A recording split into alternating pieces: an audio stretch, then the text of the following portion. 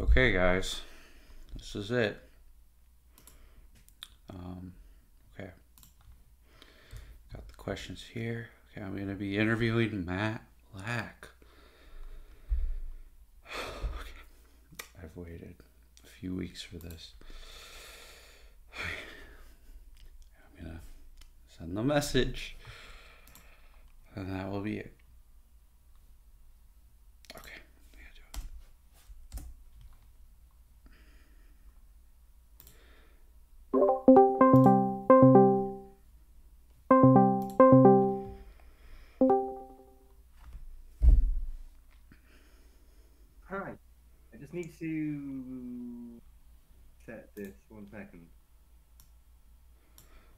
Hi, Matt Black.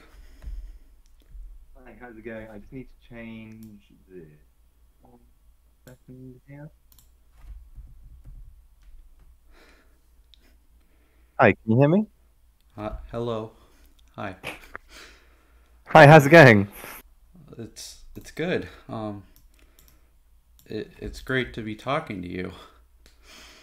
Uh, yeah, it's nice to meet you too. Um, okay.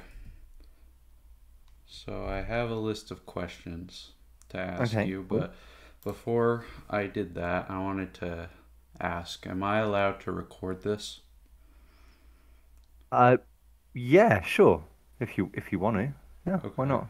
And am I allowed to share it as well?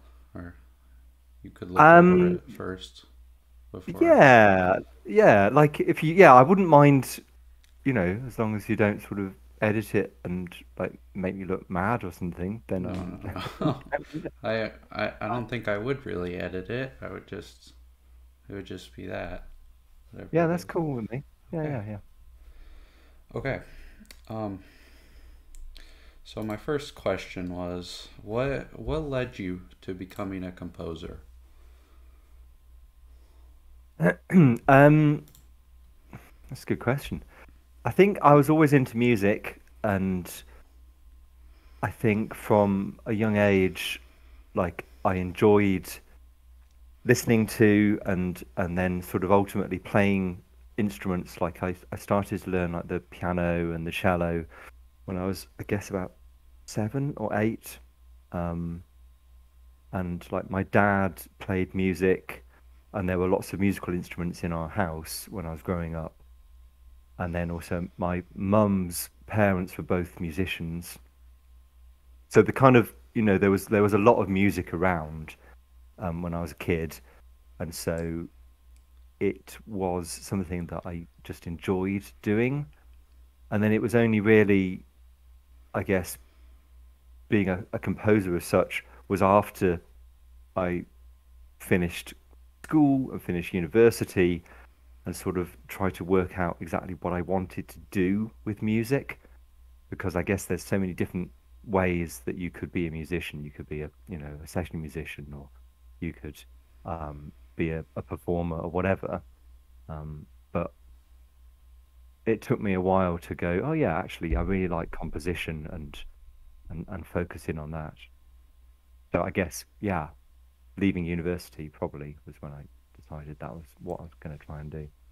Was was game composing always what you were planning to do or No, not really. I mean, like or I like always maybe not planning, but like when you got out of school then when you started thinking about becoming a composer, was it not really. It wasn't. It wasn't really on my uh, sort of horizon as such. I I knew. I mean, I loved playing games. I loved the music in the games that I'd been playing. Um, you know, right from when I sort of when I was a kid up to in my twenties, I, I I still liked video game music then. But I never even considered it as a as a, even a career um, or something that you could do. I wanted to write music, um, full stop. And then, uh, luckily, I I sort of became more aware of it, more aware of it as a as an option of a thing to do. Um, and then there was uh, a company called Blitz Games who were looking for an audio designer. and I applied for the job, and luckily enough, I got the job, and I was kind of hired to do music at that stage, and that's where it started. So, did you really compose for anything before you ended up in Blitz Games? Um, I'd done like some very small bits of film and animation as part of a course, as part of a master's degree that I did in, in Bournemouth University. So I'd, I'd done a lot of sort of practice, but I think in terms of paid work, I think Blitz was probably my first my first job um, as a as a composer. Um, I'd done work as as a sort of as a musician, as a gigging musician, as a guitarist, um, and and sort of being paid to sort of play on on people's songs and things like that. But yeah, Blitz was probably the first time that I was being paid as a composer. Um, what what was the first game that you composed for at Blitz Games? Uh, uh, that the first game that I did music for was um, was Zapper. Oh, that that Um, was the one. yeah, yeah, that was the first one, and um, so when I started, I, I did I did some work on um, on a few other games that I actually I don't think got released, and I was doing some sound effects work. Um, but then Zapper was the first one when I, I, I sort of was given the opportunity to, to do a bit of music, and that was maybe, I don't know, like three months after starting there.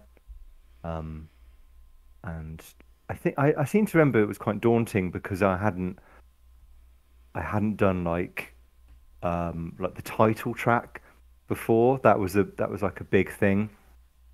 Um, yeah, and I and I had to do that. So yeah, Zapper was the first one. So I, I was kind of curious because, um, for what it seems, almost all of the music you've made doesn't really get released properly as albums or anything. Yeah. So, how is it composing music that never really gets released? Does that really affect how you feel about it? Or... Um, no, it doesn't particularly affect how I feel about it because I mean the main way that people would listen to any of any of that music is through playing that game, and the music was written to accompany the game. You know, to be to be part of that whole package. Um, especially especially the music that's got different layers and and then you know it changes depending on what you're doing in the game. It's very much part of that experience. That I always feel is is kind of what the music was designed for. So that's where I feel, yeah, that's fine. People are hopefully going to appreciate it and listen to it there. Um, and at the time, I mean, like back in the sort of the, the days of Zapper, yeah, like game soundtracks were released, but it wasn't a regular thing. It wasn't a bigger thing as it is now. Um, that's for sure. So it was, it wasn't something that we we expected to happen, I suppose. Oh, I'd quite like them to be released. I'm quite up for that. Like, uh, but yeah. Well, that that could be a possibility because of so, something similar happened with a with another SpongeBob game, Battle for Bikini Bottom. It had never been Mm. released, and then and then just a few years ago, it got released as an album. So Yeah. that that could be a possibility, at least for your SpongeBob work. I don't really Yeah, yeah. I mean, it's the um, Zapper. um, I mean, it would probably be owned by the publisher, and they they would they own all the music for Zapper. They would make a decision if they want to release it or not. It's um, at that stage, it's not my decision, unfortunately. Um, let's see. So, I wanted to ask about how how how was it working at Blitz Games? Was it It was good. Yeah, yeah. No, it was. Um, it was a really, really uh, enjoyable experience. Um, so when I started, I knew John Guscott.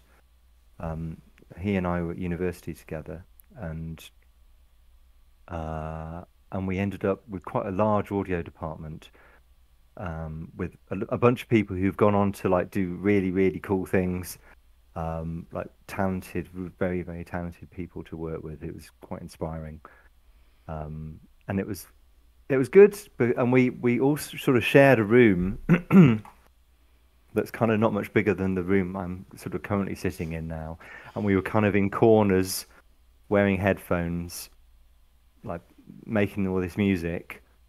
Um, and it was quite collaborative. You'd like sort of get you know Todd or John to listen to what you're doing, and they'd like come up with some ideas.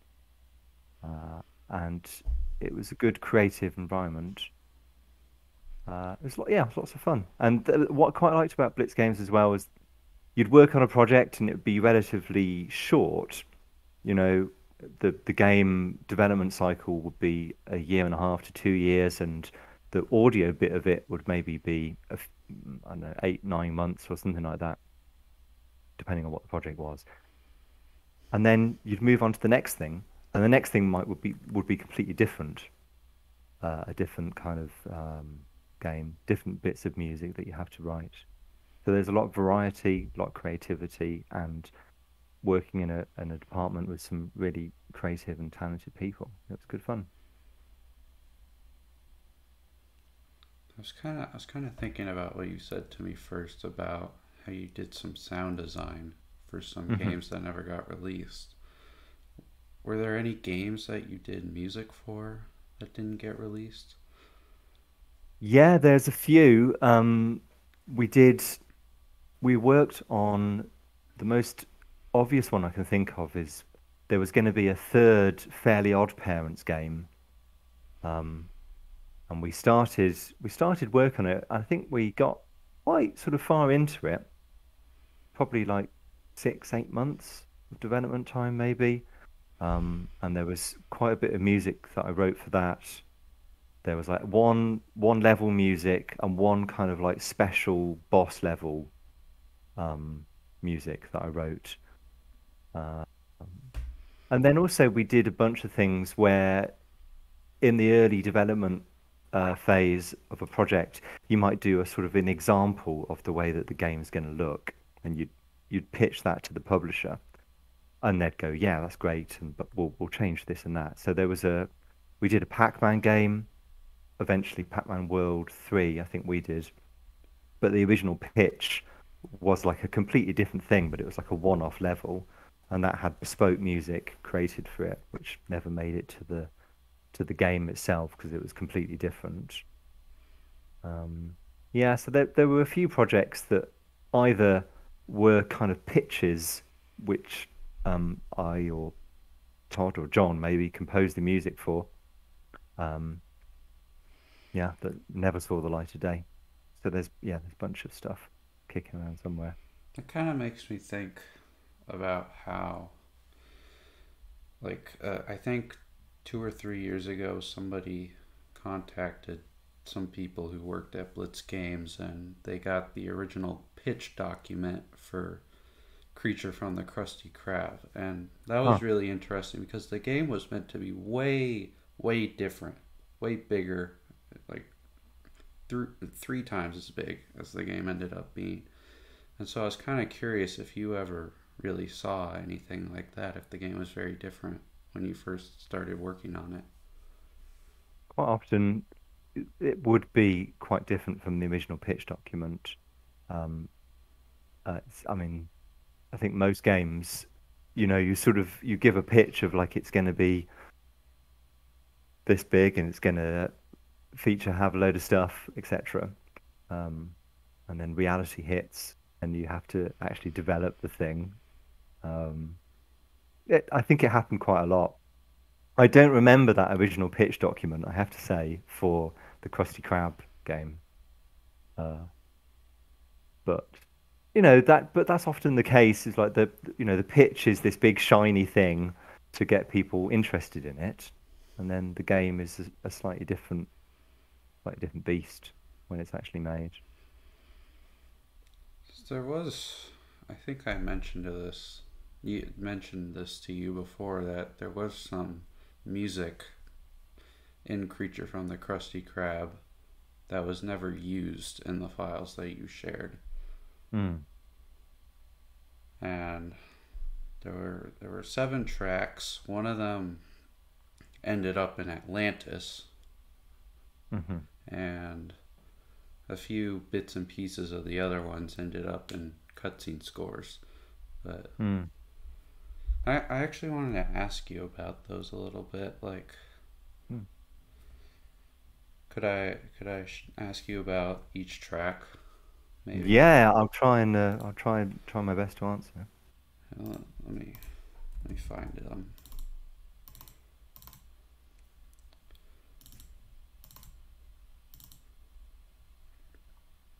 Um. So the first one was. Actually, hold on.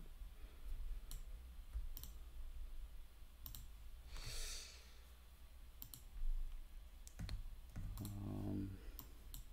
Well, it's a little too big to send. I need to make it a little smaller.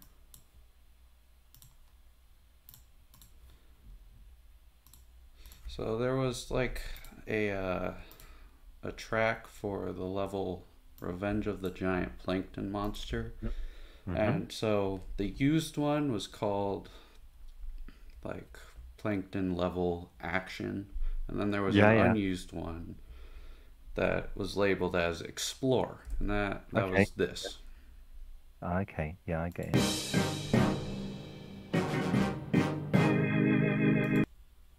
Okay, yeah. I'm just going to play it in the background, but play it quietly so I can hear you talk. And so I, do you remember what this was meant to be for at all? So, just listening to it now. Yeah, I mean, so with that level music and kind of uh, my approach at the time was to write, you know, sort of potentially three tracks for for each of the levels to have like the three different stages of like excitement, like action, normal, and explore. Um, on the basis that, you know, I think that probably the level design. I can't remember if the level design changed slightly or if the gameplay changed slightly, so therefore, like the explore bit was no longer needed because it was just like a you're just running constantly trying to, you know, avoid being killed. That is kind of how it is. Yeah, and so maybe I genuinely can't remember if if originally the gameplay was going to be slightly different, and therefore you could have had an explore track where he's just like hanging around and not doing anything. So maybe you could have the the quieter music kick in there, um, or I just wrote them by default because like once you've got the, the action version, it's kind of easy to start stripping things back, and therefore get the explore version pretty quickly. And I I suspect it might be that. Excuse me. So I probably yeah, I probably just sort of wrote it thinking it's going to be useful for something. Even though it didn't feature in the level, it could then be reused later on for other bits and pieces. So yeah, so probably it was more because every other, not every other, most other levels had that system of action, normal, explore. So that was like the the system that we were using at the time. Yeah, it was it was kind of like more towards the end of the game. It stopped being like that, but then towards the start of the game, it was the, Mhm. the three levels. Yeah, yeah, yeah. The the the same kind of thing happened for the other plankton level. That was just that was labeled level seven music. It, it was called "It Came from Bikini Bottom." Mm-hmm. It had an explore track as well. Yeah. It was very, very similar to this. Here's that.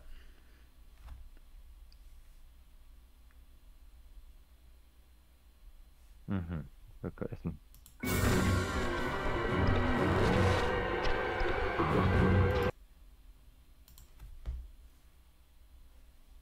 Yeah.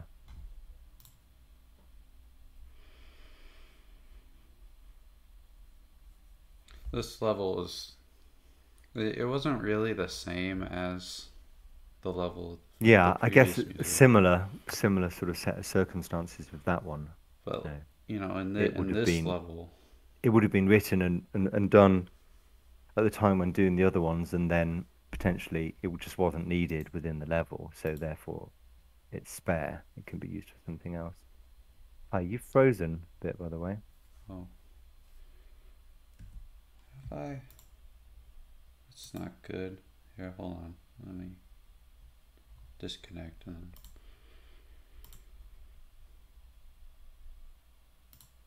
Maybe that's done it. I don't know if you can still hear me. I'm going to disconnect and, and uh, ring you in again.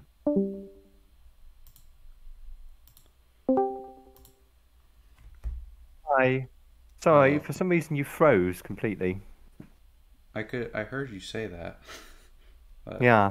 Maybe you couldn't you- hear me. I don't know. Okay, but Um, sorry, yeah. So that one, it came from uh, Bikini Bottom Explore. Um, like similar sort of set of circumstances. Then, so it was it was created as part of the original plan for the level. Possibly the level changed slightly, but then it's there, so it could be reused in different places.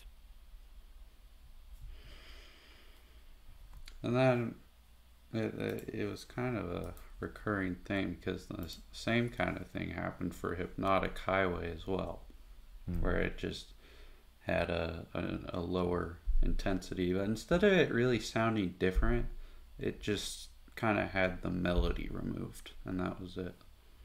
Yeah, yeah, I think that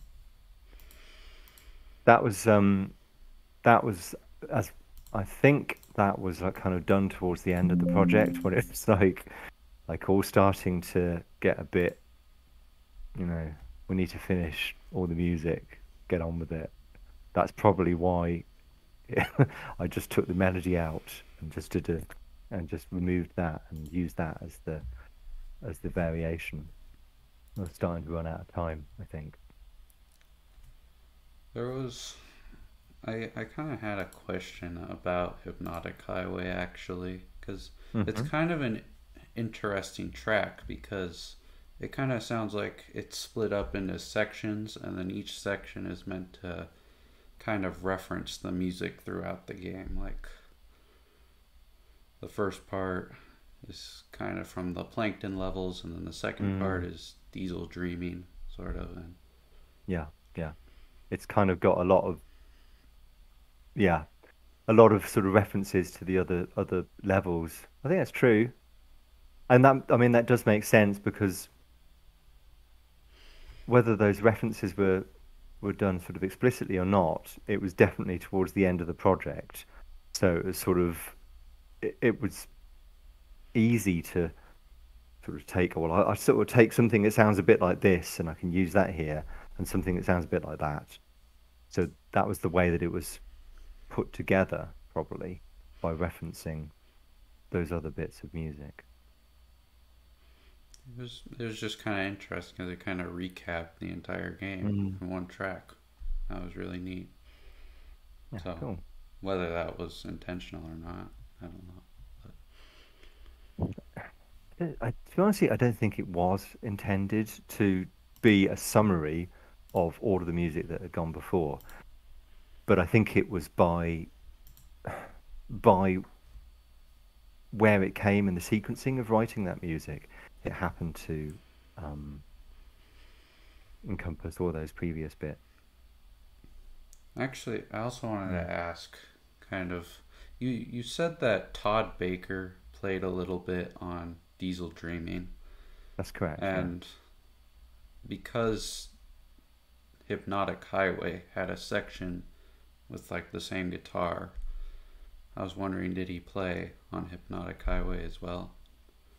I th- I don't think so. I think that's me playing.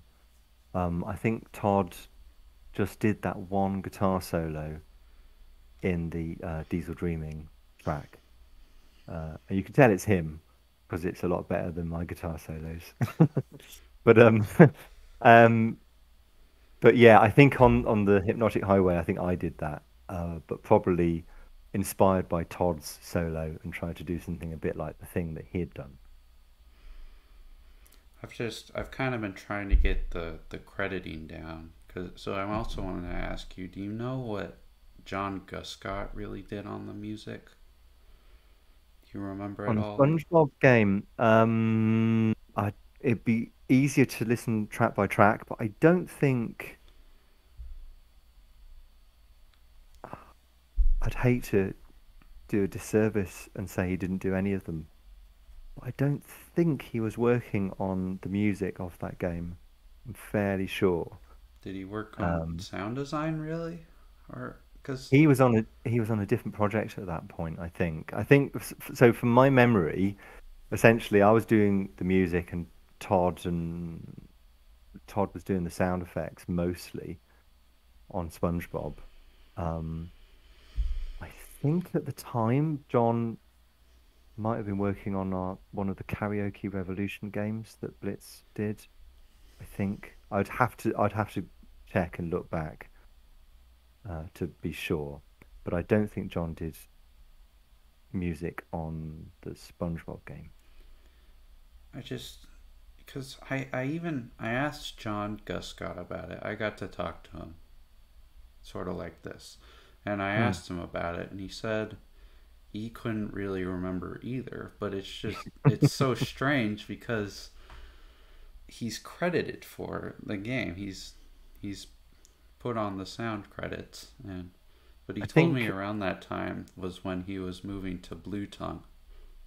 Ah, okay. So that's probably, yeah, yeah. So it probably was. So I think we'd started work on um, this game called um, the the karaoke game, um, and John was the the kind of audio lead on that. And then, kind of halfway through that project was when he moved uh, company to to Blue Tongue to move to Australia. Um, that makes sense. Yeah. And but in terms of the credits, what we did back then, everyone in the audio department was credited on every single game, like regardless of who did the music specifically or who did the sound specifically, the whole department was just credited. Because the whole department at one stage or another would have worked on on all, on all of the games. So it seemed like a kind of fair thing to do. but it does mean like it's for people who are interested, it's hard to know well who did the music and who did the sound and who wrote that piece. it's piece a of little music. fuzzy. It does, yeah. But yeah. So because I just because I didn't know, I just I put John Guscott's name on every track, and yeah, yeah. then for Todd Baker, I put him on the high intensity of Diesel Dreaming, and then Hypnotic Highway, just in case. But like you said, maybe he didn't Um, work on Hypnotic Highway, so I I don't think he did. I so would I'll have to. probably I'd- remove his name from that, and then Um, I th yeah, I mean, I I would have to listen to it again um, and just double check, but I I don't think he did, and I'm I'm fairly sure that John wasn't doing music on that SpongeBob game at that time. then I might remove his name from the tracks too. Yeah. All right. Thank, thank you. That's okay. I know, like you say, I do appreciate that it's confusing um, because, you know, I mean, at the time it didn't really seem that big a deal to to us working at Blitz. It was like, yeah, we we all work in the audio department. We're all going to do bits and bobs on all of the games that go out. So fine. and they didn't, you know, within the credits, it's just a big list of people at the end. It just says audio, and there's it's just uh, everyone. So it doesn't it doesn't list out, yeah, it doesn't list out the songs to say who did what.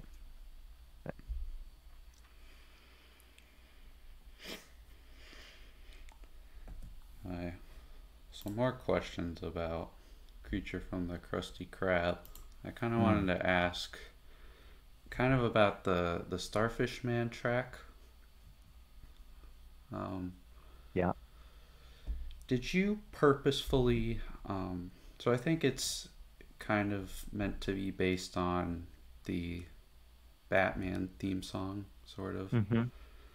And it's kind of interesting because in an older SpongeBob game, Battle for Bikini Bottom, another a track from that also kind of took inspiration from that as well. So did you purposefully kind of take inspiration from that song because ano- like a track from Battle for Bikini Bottom did or I, I think it would have been would have been part of the reference would have been part of the the various kind of reference points for that that piece of music. Um, um, yeah, it was kind of Batman. Um, I guess because it was like a the, the sort of cartoon hero style thing of, you know, it, it made sense to go for that sort of big sound. Um, I don't think was the, I'm not sure if The Incredibles was out at that time. I don't think it was actually, but it's in in that sort of area. Um, so yeah, it, I the Bikini Bottom track probably would have been part of the overall reference. I also kind of wanted to ask about um, the Sponge Band tracks Hmm. that. So I, I was kind of I was kind of curious. Um, at what stage were you making those? that was like right at the end of the project um, and it was quite sort of it, I, I I can't really remember if it was something that was initially planned like right at the start of the project I think it was something that sort of came up by oh well we could use you know the controllers to do something with what should we do with it or they could control an instrument maybe.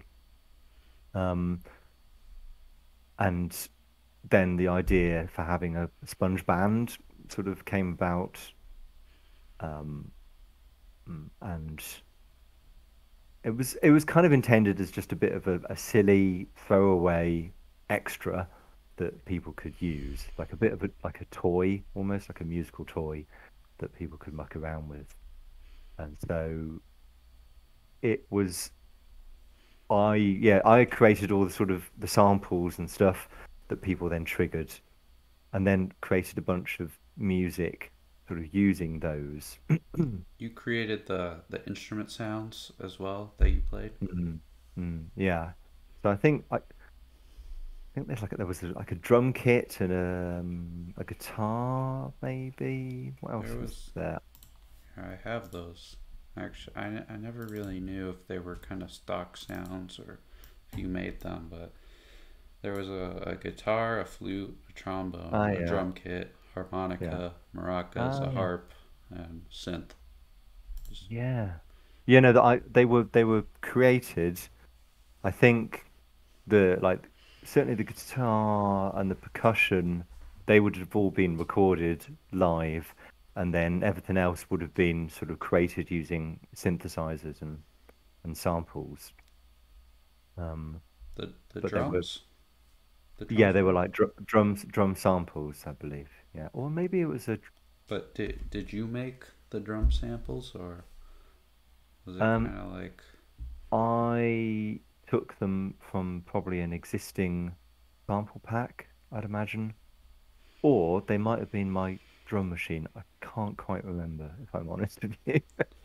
um, but they would have been, yeah, like either so either they would have been like kind of library sort of drum uh, sound effects, or they would have been from a drum machine. Not quite sure. one of the two options. But the guitar certainly, I, I seem to remember recording the chords. Definitely, the percussion would have been like original recording as well. Yeah, I just I thought that the the Sponge Band um, tracks were really interesting because I mean, of course, it's it's neat to kind of have the drums by themselves and then everything else without the drums. But then also, some of them have like new parts in them, and um, I think Supersized Patty sounds completely different in Sponge Band. And one other specific thing I remember is Hypnotic Highway. The the guitar solo was a different recording. Oh yeah. It was it was kind of the same. It was the same thing, but it, it sounded. A few things sounded a little different. Yeah. Yeah, I I can't quite remember um how how that was put together and I guess it was just a different take and a different recording, which is probably explains why why it's different there. Yeah. And uh, you said you you don't have those saved anywhere. Mm-mm. No, I'm afraid not. Um, there's probably somewhere somewhere within someone's directory of Blitz Games stuff. There may well be, um, but I, I don't have them. I'm afraid. Um.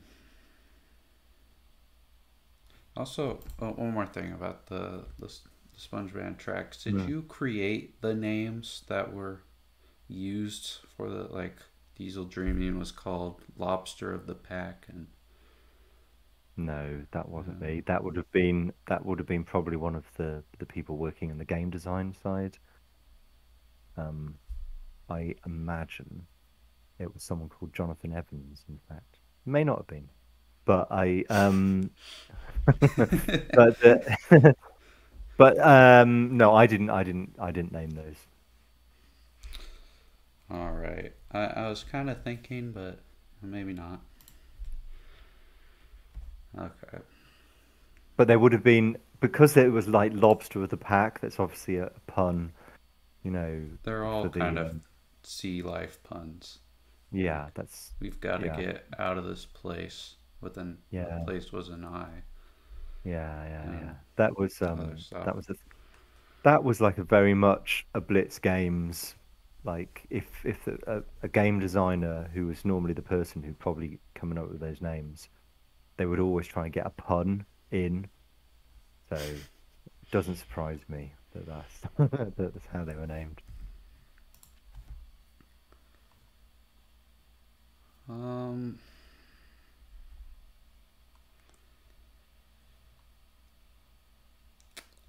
I I wanted to ask, um, do you have stems saved for the tracks? No, um, I have essentially the same the same stuff that you've probably listened to and got now, which is just the the, the sort of rendered files as they are, the Explore version and etc. etc. So I don't have those um, individual stems.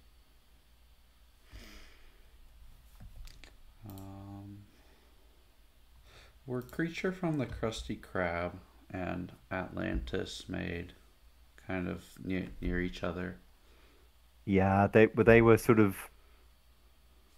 Oh, I'd have to look at the dates when they came out, but yeah, they were sort of possibly within, you know, a two-year gap or a one-year gap or something There- like well, that. there was like a two year gap, but I mean, like in development, were you like working on them at the same time, or No, no, we'd we'd finish one and then then move on to the onto the next one. And I can't quite remember if there was a project in between that I ended up doing or if it was just straight on to the next SpongeBob game.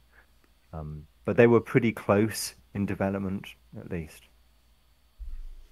I just say because there's some music that's reused, and of course, same samples. It sounds like are used on both games' music. hmm Yeah.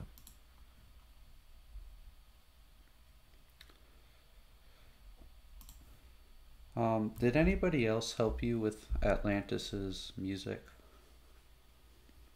on the title track, um, the one that plays on the main menu, uh, there's um, I hired a singer, and That's a real um, person.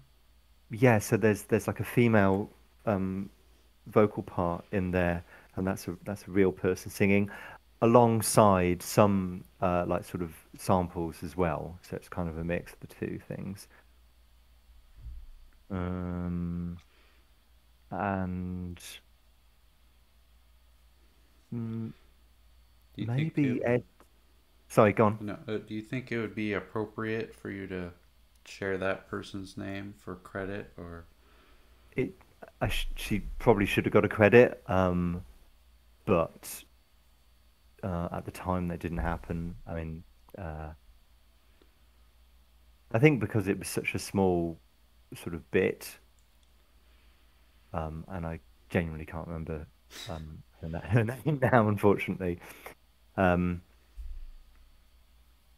yeah, and then I'm not sure if Ed Hargrave, um, who was in the audio department at the time, he might have played violin.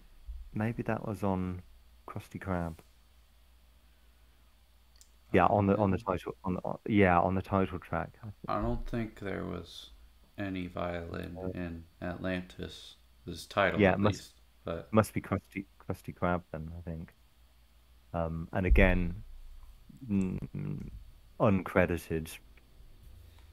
Edward Edward Har Hargrave was it? Hmm. So, uh, yeah, Ed was in the audio department at Blitz. Um, uh, he's a hugely talented sound designer and musician. Works in, in games still. He's working on, on Dreams for Media Molecule at the moment. I wanted to ask something else about Atlantis. Um, so in in Creature from the Krusty Krab, pretty much every cutscene got an original score, but in Atlantis, all of it was kind of reused level music. So Yeah. why was that? I think that was just a time issue. Like when we when we got round to doing the credits. Yeah, I'm a bit hazy with exactly which project I had to move on to, but I I think I had to move on to something else and basically had run out of time to do any um sort of original compositions and score for the cutscenes. So I seem to remember that the cutscenes, the the sound design of them was, um, I think, a lot of it was done by Stuart Duffield, who was working at Blitz at the time. Heard Um, that name before? hmm, he, I think he's in the credits at least.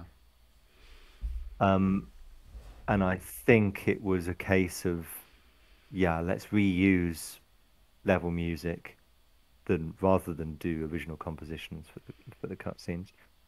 And I think it was, excuse me, mostly because I'd had to move on to something else at the time, and I can't remember what what that project was. But that's that's kind of what happened at Blitz. Is like we seemed to put out a lot of games quite quickly. Like I was, like I was saying earlier, it was it was a fun thing because you'd like you do one project quite intensely for a number of months and then quickly move on to the other. But I suppose the flip side of that was that like you didn't in some cases you didn't have a lot of time to work on things. It was just like, yeah, quickly get it done, move on to the next project. Which is I I suspect what happened there. I guess, I guess that makes sense since um, there was a little bit of reused music from Creature from the Krusty Krab as well. Yeah, Yeah. yeah. I was also kind of curious about the specifics of the Atlantis music. Um, it, it, it this kind of came from the cutscenes as well, but all of the all of the cutscenes are kind of in, in 48,000 hertz or 48 kilohertz. hmm And there's some parts where it's just music, and that in the spectrum all gets all the way up there. So I was curious, did you create Atlantis's music at 48 kilohertz? Um, possibly not. I, possibly I would I'd be working at down at 44.1, I think back then. I can't like That's how Creature can't. on the Krusty Krab was, but Yeah, because I mean, the cutscenes showed it being that high. Mm hmm Yeah, it's to be honest with you, I am not entirely sure. I I mean, I at some point I switched over to using 48K and 24-bit as like the standard um, kind of format that I would always render out audio files in, and so those would it wouldn't be.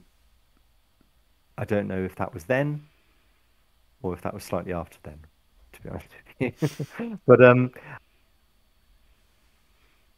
it po it's quite possible that I was working at 48K then. Not sure. Is there, I guess, do you have the files to check? Again, mm, no. I think I think you've probably sort of seen most of them. I think I've sent some of them to yourself, um, or possibly all of them even. Uh, so Not they would Atlantis. not from Atlantis. Oh, okay. Somebody. I'll have. I, I know my friend named Sheriff the Great Ah, yeah. has been asking you about it, and you said you haven't really had the time, but Okay. Um. Hmm. I'm not sure then. I I certainly don't have the original, like, kind of stems and of those course, those course, but. What I don't have is that. But I thought I had the um the game music, so I'll, I'll look into that. please do. Um. Because the the thing about Atlantis too is that um the music kind of had the uh the ambience baked into it. Yeah. And Yeah. so it's kind of not like it's Yeah. Still enjoyable to listen to, but not really you can't really hear it properly. Yeah. No, I get it. So it would be Um. really nice to have the original files if you have them. Mm-hmm. Yeah. I'll I'll see if I'll see you um see if I've got them and have a look. Um. And then and I'll let you know. But yeah, sort of. I I mean, we did keep each of the for each game we did. Like we're sort of trying sort of back everything up with the project. So it is it it is out there somewhere. Um, Maybe just from if someone else. yeah, yeah, quite possibly. Um, uh, and then in terms of the music, I possibly do have them, but I think it could be like just the MP3s, like this, you know, fairly compressed versions of the entire soundtrack. Um, because I thought I had shared that, but maybe not the, and maybe I don't have the the sort of like the full 48K versions of them. So you only have Atlantis as MP3 or Possibly. I'll, I'll have to. because you you had Creature from the Krusty Krab as WAV, which is Yeah. mu much higher quality than MP3. But Mm. so if you Yeah, have that I'm for not. Atlantis too, that would be nice. But uh, Yeah, I'll, I'll I'll look into it. My feeling is that it was something that I'd I'd sent, but that the WAVs were weren't like the sort of 48K versions. That it was a sort of potentially WAV of of something at a lower sample rate, but I can't quite remember. I, it's okay if it's not 48,000. Like that's not the the, really the big deal. The big deal is Mm. kind of having it without ambience, I guess. So Mm-hmm. if you have, you never sent anything from Atlantis. You only sent things from Creature from the Krusty Krab. Okay. Okay. Okay. Well, I'll have a look, and if there's um the stuff that's kicking around, I can I'll send it over to you. All right. I wanted to ask one more thing about Atlantis, and that was so in in Creature from the Krusty Krab, for the uh, title screen, you kind of used the SpongeBob theme motif Mhm. for the title screen, and um, that was kind of it. No other music seemed to really use it, but Mhm. in Yeah. Atlantis, there were, I think, two or three tracks that ended up using it, aside from the title screen. And so I wanted to ask, why is that? I'm not sure to be honest. I think back in when I was doing it, um, yeah, I to be honest, I'm not sure. Maybe just with with the first one, it sort of maybe the themes of the levels were quite strong, so they they needed their own own bits of music, and it, you couldn't really get that SpongeBob motif into them. Um, and maybe with with Atlantis, it was slightly easier to do that. I'm not sure. I don't have a, I don't have a great does, answer. it, it kind of, you know, it gets changed up a little bit, but it is there. So that was interesting. Yeah, I, it wasn't a deliberate um, decision to feature it more often. I think it was probably by coincidence that it just it just happened to to sort of creep in there a bit more. I, I also thought it was kind of interesting because in Battle for Bikini Bottom, it, it never got used, and then the game right after that, the the movie game, it got used quite a bit as well. hmm I I think know. I'm not sure. I mean, I, it's sort of you know, it's quite a recognizable bit of music, so it does. It's one of those things that you know you can't. I don't think you can use it too often, otherwise it it becomes a bit like repetitive and annoying. But in the title music, yes, and then you know, dropping it occasionally seems to make sense to me at like sort of key moments. That could be it. Yeah. That makes sense. But it, I can't. But I can't remember any sort of. Oh well, I'll definitely use this more on this game. I don't remember any any decision like that. So next, I wanted to ask some questions about Zapper. Okay. Yeah. So, you said that um, at Blitz Games, you kind of had a big room. Well, maybe not a big, but you had a room to Yeah. make the music, and there were the four of you there. Um, with Zapper, there was four of us. Yes. Yeah, and that was in quite a small room. Yeah. in in in the um the credits, it says that the music was mastered somewhere called Gig House, That's correct. Yeah. but Yeah. in no other game, it doesn't mention anywhere of where it's mastered. So. Was was Gig House kind of a part of Blitz Games, or Gig House is a recording studio, um, like in uh, close proximity to where Blitz Games was based in Leamington Spa, in Warwickshire, in England, and um, we decided to get the tracks mastered there um, because, well, first of all, it I don't know. I think I thought it was like important at the time to like get a get all of the tracks consistently uh, at the same volume for a start, because there was me, there was John, and there was Jez, and there was Andy Morris. So there's a there's a lot of different people working on music on that game, and a lot of the tracks were quite different, really. So the idea was that we'll we'll master them all, so there's a level of consistency throughout. Wa- that was the plan, and I think it cost us like 250 quid to do them, which um, not sure if that's expensive or cheap for back then, but it was it was a good thing to do. Um, and I'm not sure why we didn't do it on subsequent games. To be honest with you, we probably should have done. Uh, we ended up sort of doing the mastering ourselves. But there you go. Not really. I don't.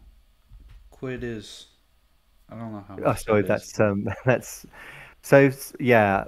Well, now that's almost like two hundred and fifty dollars because the the pound and the dollar are like almost equal. Oh, It was like a day's work in, not quite a day's work, almost a day's work in the studio. I guess maybe that's why I noticed something about kind of the the files you sent for Zapper and the files from the game.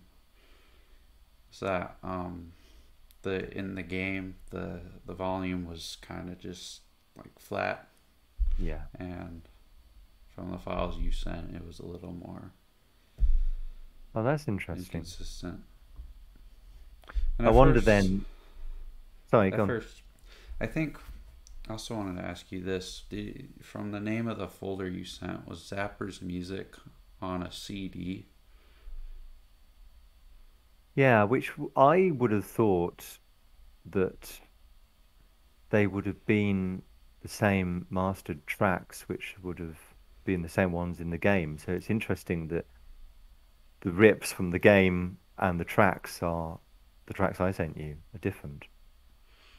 I I was kind of worried that like maybe they weren't as loud because the CD has been had been damaged or something, or No, I mean they were. but I don't know. I'm not sure of the where that folder came from originally. I mean, it, it like at a guess, they were kept on on a disk, and then, but they would have been kept on like disk as data rather than like um, an audio CD, and then just sort of taken off that. oh, so you you didn't have the CD. You you just had a folder called Yeah, yeah, CD. yeah, yeah. I was gonna kind of ask if if I could see the CD, but No, unfortunately not. No, no such thing exists.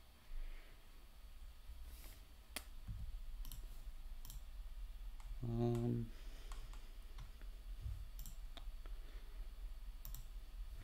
how long do you think it took to finish Zapper's music? Um, I can't remember. I mean, it must have been maybe I was probably working on it for like seven or eight months, maybe something like that. the Maybe game the game came out 2002, I Yeah. think, or maybe it was 2001. I don't remember. But Um, let's have a look. Yeah, I mean, I I started I started work at Blitz in 2002. So, um, okay, so I don't probably know. not 2001 then. 2002. Uh, it does, yeah. It, it came out according to Google on October the 9th, 2002. And I, my start date at Blitz, I think was in that year, but it was, maybe it was in 2000, maybe I started in 2001. But anyway, but I, I think roughly, yeah, like Maybe seven, eight, a seven, less eight, than seven, a eight, yeah, le le less than a year, definitely. Yeah. I I just think that's incredible that you guys can get so much music done in that much time. It's there was a lot of music, yeah, um, and and like I say, all of, all of that game music was all just created in. Everyone's just like sit wearing headphones, so you know we we weren't creating music in a sort of proper studio with speakers and like properly acoustically treated rooms. Um, it was all quite rough and ready, uh, and I seem to remember that because I I just started and I didn't really have any like equipment or that much software even, and a lot of the music was created in some in a program called Acid, which was um, uh, like quite a limited bit of software, but yeah, it was most of it was done in that. And then I think later on we were using uh, Logic. Um, yeah, so it was a mixture of Acid, something called Reason, and then Logic later in the day before Logic stopped being on PC and then became Mac only. So then, how how did you guys go about like? I think you've said that there's some live recorded guitar or bass Mm. on Zapper. How did you guys go about recording that? Like I, so the guitar, I recorded that not in the room at Blitz. I recorded that. I was living um, actually back in my parents' house at the time, and I recorded that at their house in like um, in like the music room, which which they had. Um, uh, on guitar, I, I play guitar in with my amp, and I recorded it onto what was I using? I think I might have been. I can't quite remember what I actually recorded it onto. Maybe it was onto onto um, like mini disc. Maybe I was using using a like a, a microphone, record onto mini disc, playing to a click track, so I knew um, what the tempo the song was going to be. Record the guitar part, and then when I get back into the office, I could then take that mini tra- mini disc recording and put it into the computer, and then uh, muck around with it. So like really long-winded process of of getting the guitars in there. Same with the bass. Do you think it was worth the effort? Oh yeah, like because I think the I think there's some live piano as well, especially on the um the title track, the dun dun dun dun. That's um that's a bit of of like live piano and upright piano as well. Um, but I think yeah, because if it was just just the sort of samples and just the um, sort of virtual instruments, it doesn't quite have that same sort of slightly loose feeling that you sometimes get when when you can kind of add live instruments into into bits of music.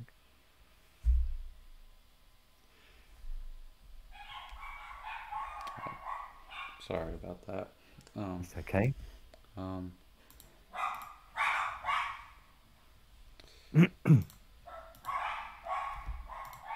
I wanted to ask, um, did you make the music for the intro and outro scenes in Zapper? The the cutscenes. Yeah. Uh, yes, I did. Yeah, I d- yeah, I did those. Yeah. Um, Did I think. I- Sorry, go on. I was. Did were they like? Because it kind of sounded like they were very based on the, the laser maze or the early title screen. So Yeah. did you like kind of make something new but base it off of that, or just kind of take parts of that and I think. I think. it? I it was yeah the latter. I took parts of the of like the title track or the laser maze and like kind of used those samples of like of of the music that had been created and put those against the cutscene. Because like the cutscene was created right at the end of the project so like all of the music was done. So it was either well I could write something new or actually this will work hopefully quite nicely.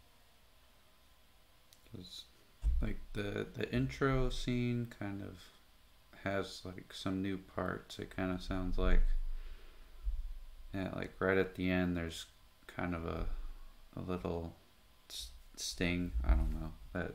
yeah or, Yeah, there was not, not really a sting, a hit that's yeah really used anywhere else.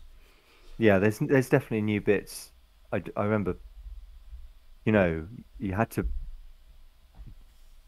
add a little bit extra in for that one.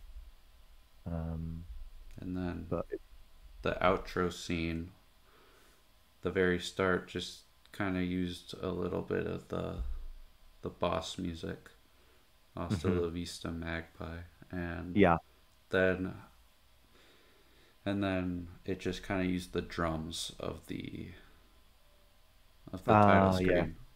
yeah, I remember that one now. Yeah, I think that was that was because it was like, oh well, you've just done the boss battle, so it was like kind of a reminder of of what you've just been listening to, and kind of made sense to continue that bit of music on, and then yeah, and then I, I remember just reusing those drums because it seemed like you could call back to the to the previous thing to the start of the game.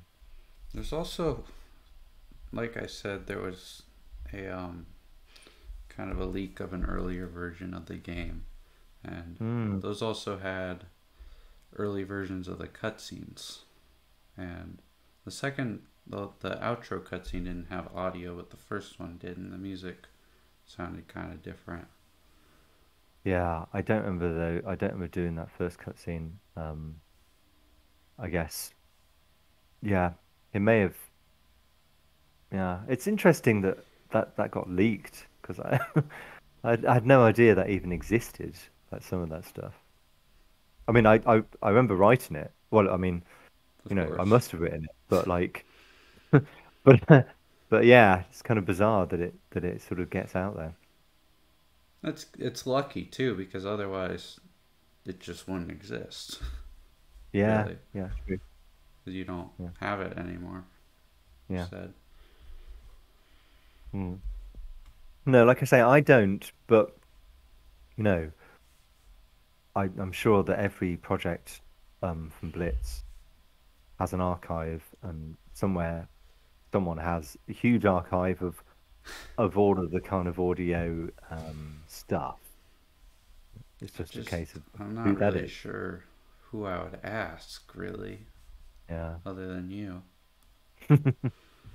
yeah, I, I have I have kind of me me and someone else have been trying to kind of ask the other three composers about it. I I got in contact with Jez Gorley oh yeah, and I sent him a few questions over email. yeah. He said he would get back to me eventually about it, but Okay. of course Andy Morris, not even you really ha- have any contact. No, I don't. No, no. I mean, like, I th yeah, I haven't got a contact uh, for him, unfortunately. Um, I think he's still working in video games, but I'm I'm not sure where he is. I've sort of lost contact with him, unfortunately. And I, I already have contact with John Guscott, so Mhm. next time I talk to him, I could ask him about it. But so Yeah. maybe they could have more stuff. They might do. They might do. It depends. I mean, like, sort of. For me, you know, I sort of worked on the project. I've got the original. I mean, the the you know the music that you that you find in the game. Um, and beyond that, that's that's kind of it. But I suppose that's you know because all of those the the project files that would have had the stems and all of the all of the kind of individual bits of each of the pieces of music. Are long gone on a, a computer somewhere years ago and at the time yeah i didn't need to archive that stuff. Um,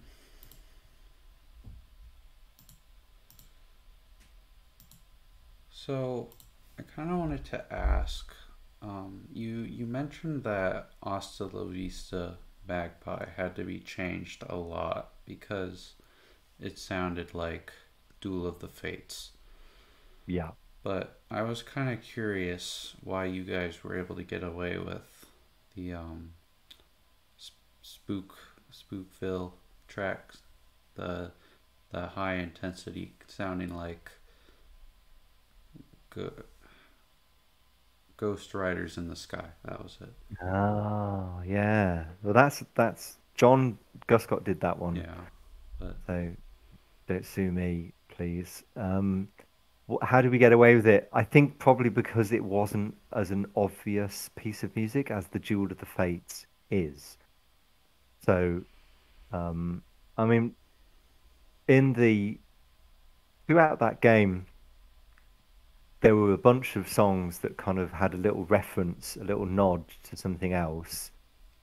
Um, like for example, the I think it's the sawmill. There's a variation of the sawmill that sounds, or I like I created to sound very much like. Um, there's a film called Vertigo, and there's the title music of Vertigo by Bernard Herrmann. the the file name of one of them was just called Vertigo, or I had yeah, Vertigo in it. I mean, so.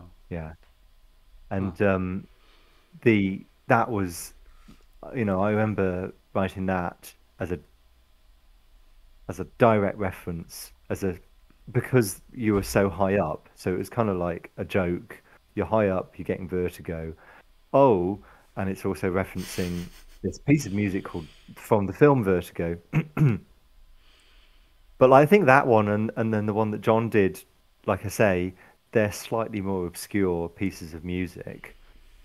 And i don't i mean they were sort of not it's like a nod like a reference to it rather than trying to copy it exactly.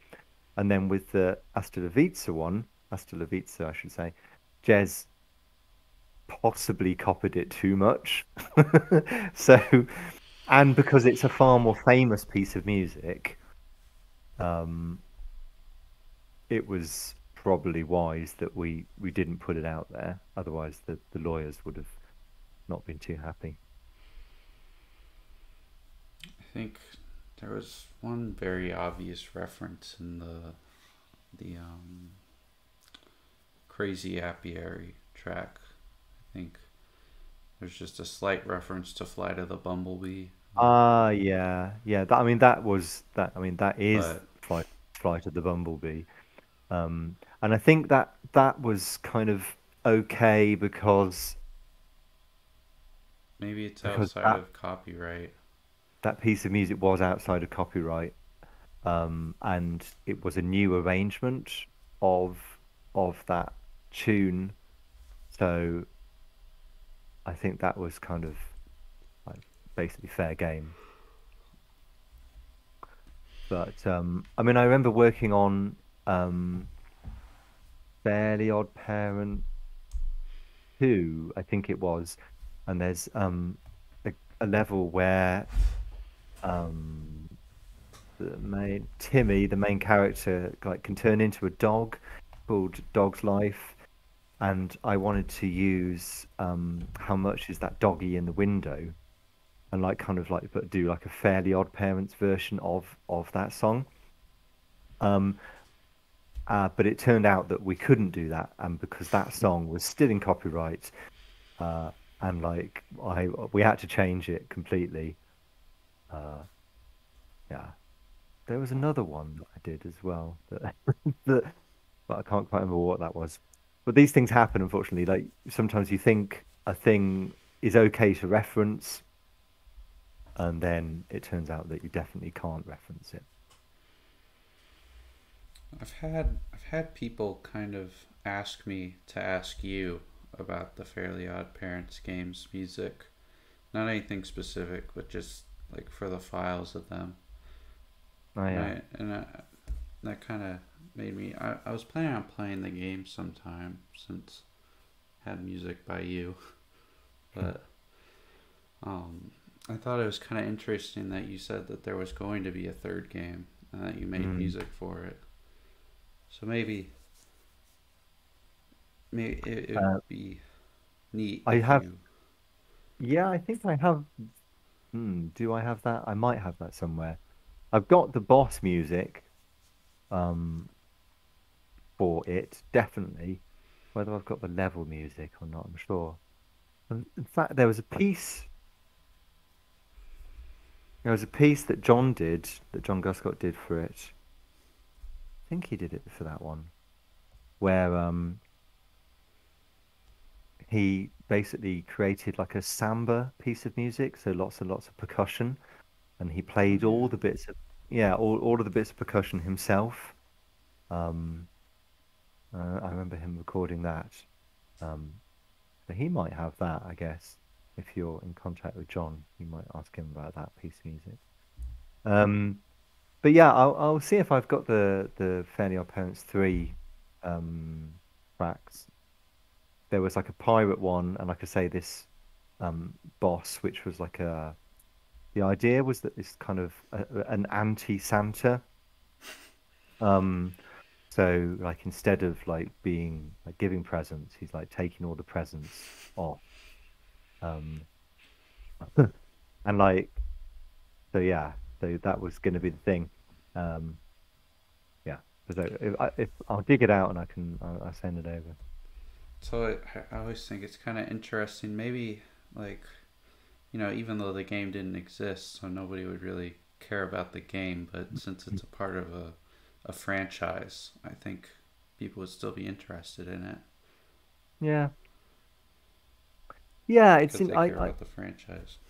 Yeah. yeah, yeah. Yeah, I think yeah, it was a kind of it was kind of a shame that it, it got canned because I think the, the the boss level would have been quite funny. Um, but yeah, I think these things happen.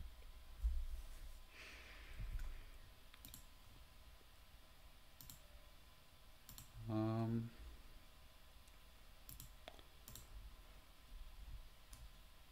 I think that's it. Mm. Your internet is frozen again. I'm just going to um, disconnect and dial back.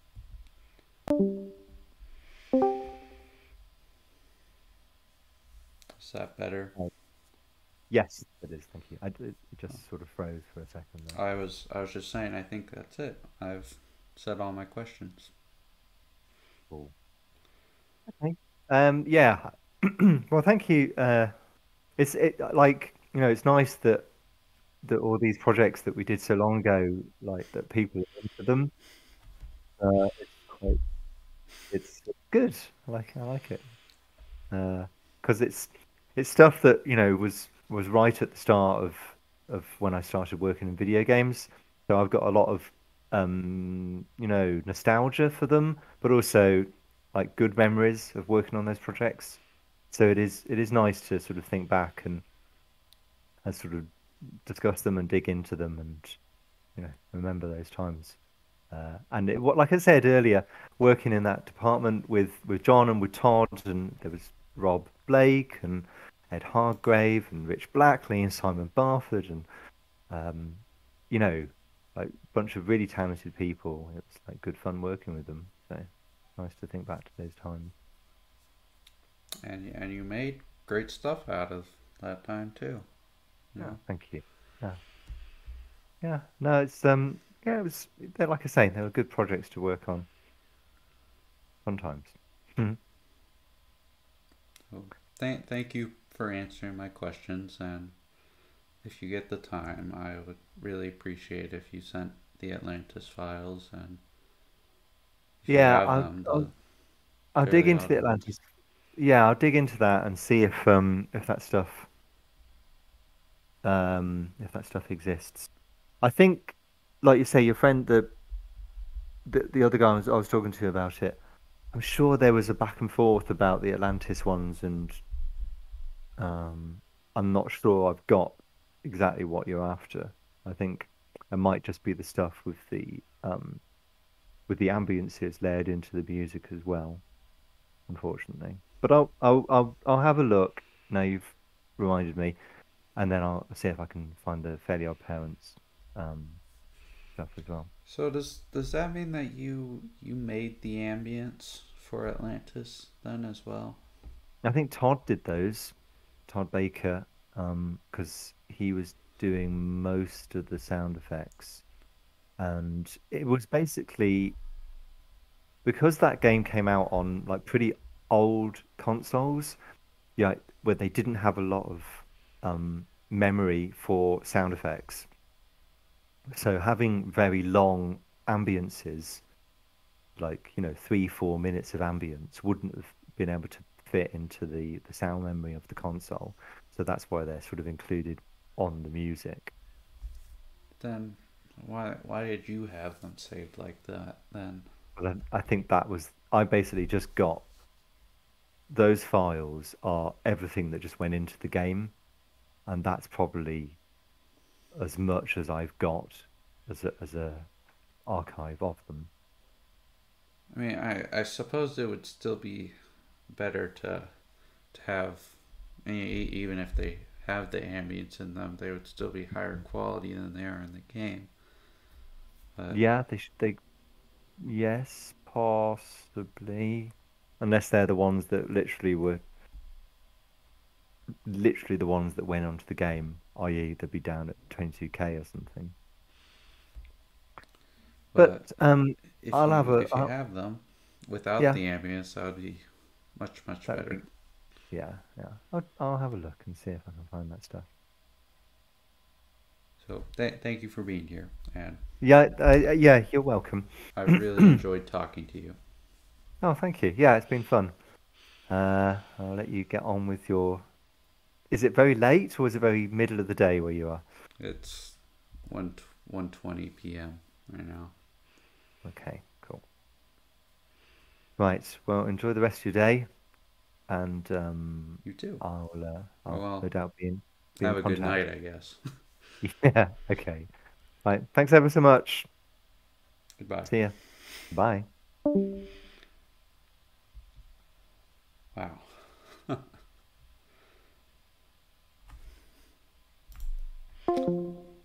can't believe I did that. Oh, that was incredible.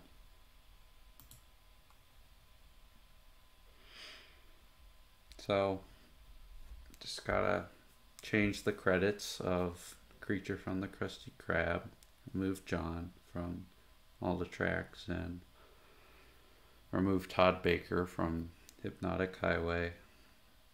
Possibly the Atlantis files don't exist anymore. Um,